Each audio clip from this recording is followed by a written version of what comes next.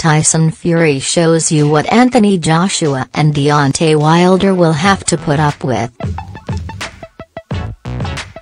The Gypsy King has been hanging out with the former two-weight world champion at his gym in Manchester as he continues his latest comeback to the sport of boxing following a two-year hiatus.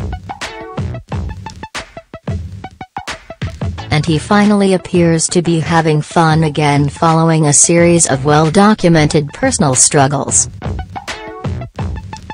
Footage uploaded to the Hatton Gym Instagram account gives viewers a unique insight into what it would be like to share the ring with a towering brawler.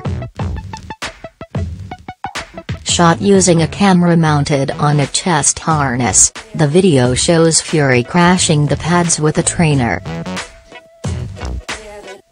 Despite his enormous frame lumbering around a reported 7 stone in extra weight Fury moves so fluidly, displaying impressive hand speed.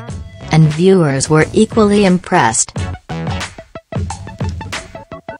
I certainly wouldn't want one of those shots on the end of my snotter, read one comment. Another wrote, that is so good. Terrifying the damage he could do. His left jab would put me down for weeks. Next year promises to be a pivotal year for Fury as he sets out to reclaim the WBA, IBF and WBO titles that were stripped from him after his period of inactivity.